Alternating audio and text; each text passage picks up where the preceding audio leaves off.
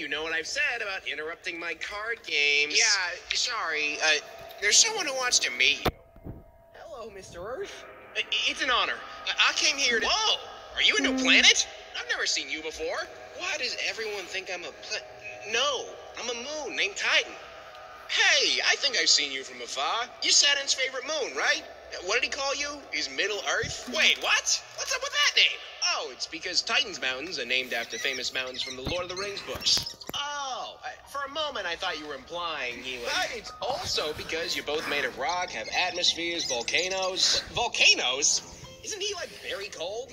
Ice volcanoes. Oh, that sounds way cooler. What? No! How is ice cooler than lava? Well, it literally is. But anyways, you both also have lakes and rivers. Nobody else does, for what I know. So, does he have an ocean, huh? Under his surface. And not just any ocean, liquid water. So it's possible he could sustain life. Stop! Don't say it! He's just a moon, okay? We're nothing alike. Oh, come on, don't be rude. No! Moons should know their place. Keep saying silly things like this, and you'll make them think they can become planets like us. Hey, so, Titan, what's up? I came here to meet you. Uh huh. And? Any thoughts? Disappointed. Well, that was rude.